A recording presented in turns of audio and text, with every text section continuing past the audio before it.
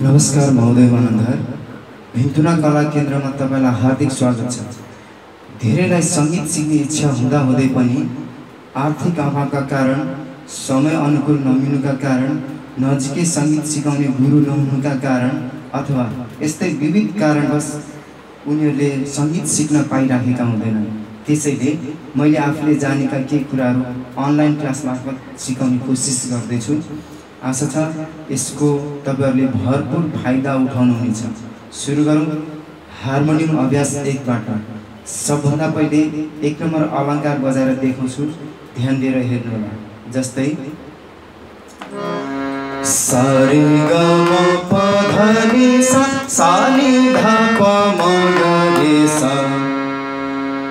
सुरुमा धेरैलाई सा कुन हो भन्ने ठम्याउन गाह्रो पर्न सक्छ।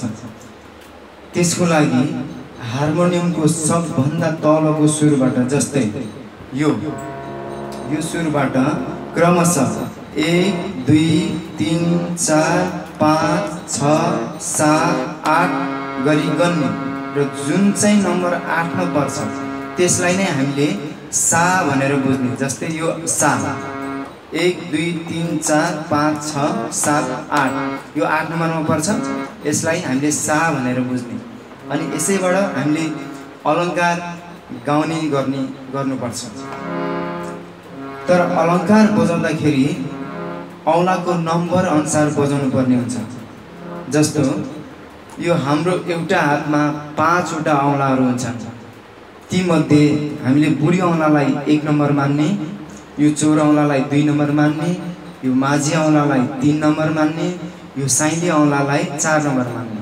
यो पाँच नम्बर औँला जुन छ कान्छी औँला त्यसले चाहिँ हामीले बजाउनु पर्दैन। यो कुरा ख्याल गर्नु होला। अब म बिस्तारै ल औँला नम्बर अनुसार बजाएर देखाउँछु।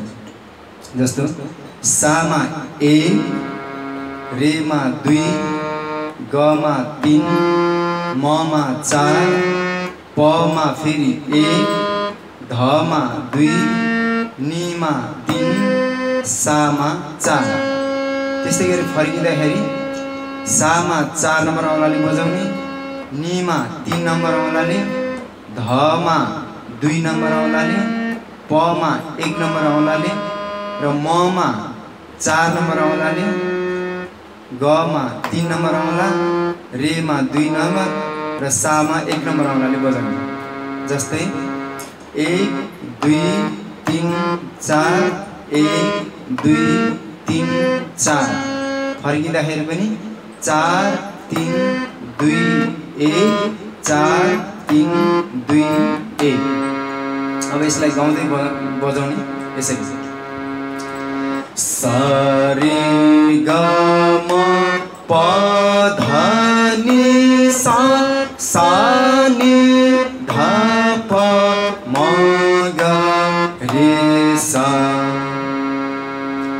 यसरी अलङ्कार बजाउँदाखेरि एउटा कुरा विशेष कुरा ध्यान दिनुपर्ने हुन्छ।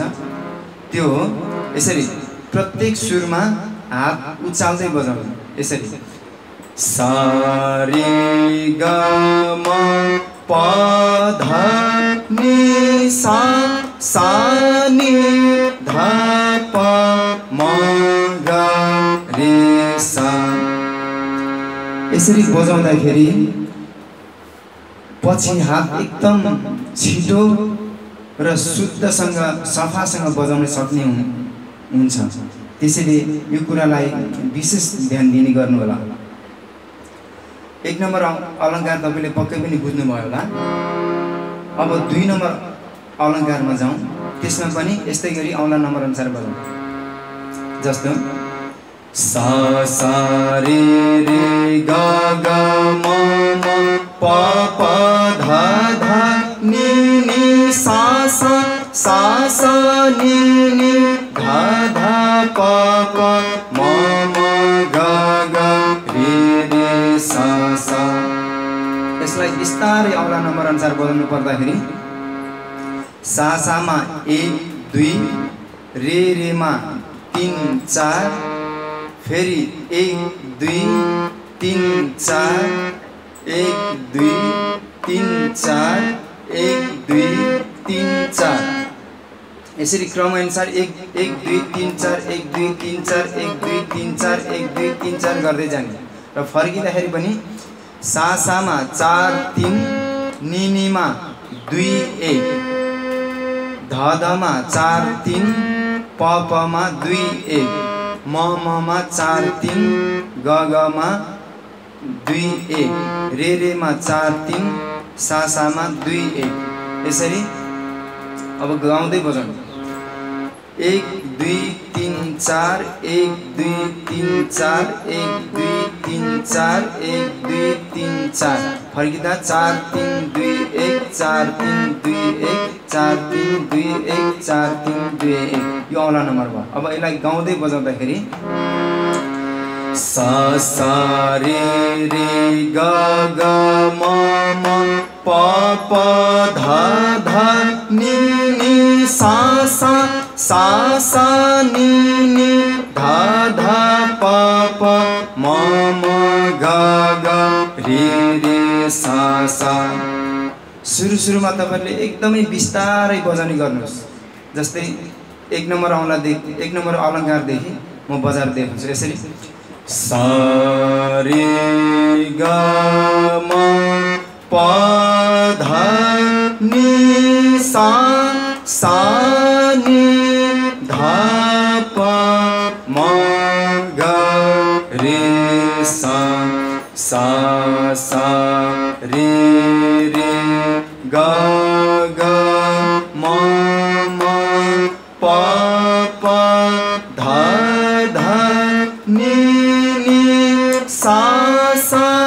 सा सा नि नि ध ध प प म म ग ग रे रे सा सा।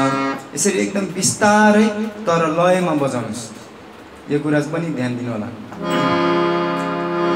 अब म एकचोटि यसलाई अलिक छिटो बजाएर देखाउँछु। एक नम्बर र दुई नम्बर सँगसँगै। ध्यान दिएर हेर्नु होला सारे ग म प ध नि स सा नि ध प म ग रे स सा सा रे ग ग म प प ध ध नि नि सा सा सा सा नि नि ध ध प प म म ग ग रे रे सा सा यस्तै गरी तपाईँहरूले पनि घरमा बिस्तारै स्पिडलाई बढाउँदै लानुहोस्। अवश्य पनि सिक्नु सक् सिक्नुहुनेछ नातिकन सिक्नु होला। ठिकै छ? आजलाई यति नै। अर्को भाग दुई लिएर फेरि आउनेछु। राम्रोसँग मन लगाएर अभ्यास गर्नुहोला र मेरो च्यानललाई लाइक सेयर अनि सब्सक्राइब गरेर नभुल्नुहोला। धन्यवाद।